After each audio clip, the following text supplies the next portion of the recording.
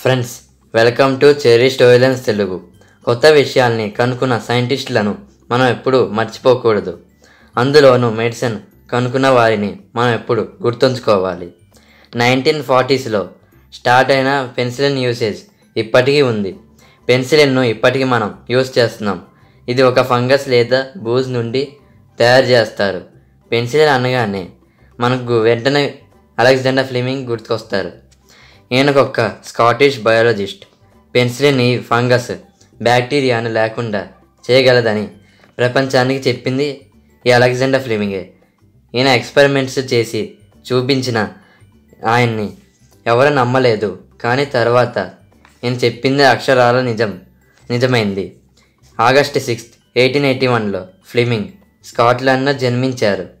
London London medical స్కూల్లో చదువుకున్నారు? అక్కడే గ్రాడ్యుయేషన్ పూర్తయింది.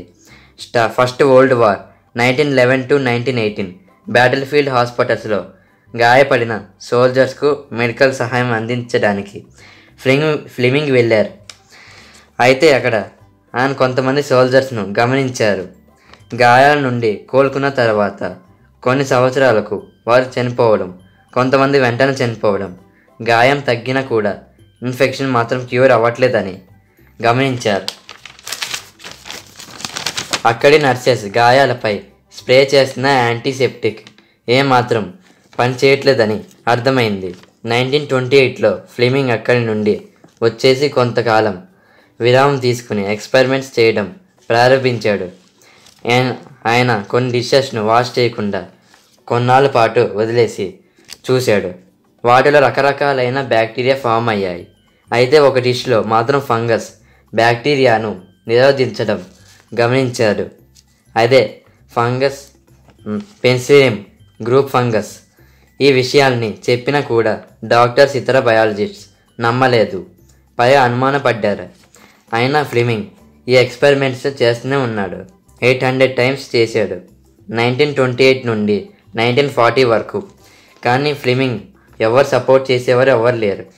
అప్పట్లో US government and Britain Australian pharmacologist Howard Florey German chemist Ernst చైన్లకు ఫండ్స్ను ఇచ్చి బాగా ఎంకరేజ్ చేయడం వల్ల పెన్సిలిన్ మెడి మెడిసిన్ను సక్సెస్ఫుల్గా వారు తయారు చేశారు.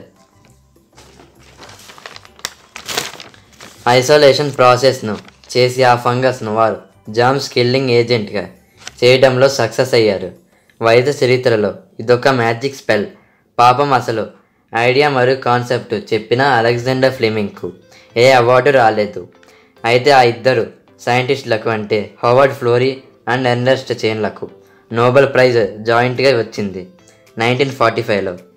అయినా సరే ఇప్పటికీ ఇప్పటికీ పెన్సిలిన్ను కనిపెట్టింది ఎవరంటే అలెగ్జాండర్ ఫ్లెమింగ్ అని చెబుతారు అందరూ. వారిద్దరి పేర్లు ఎవరికి తెలియదు.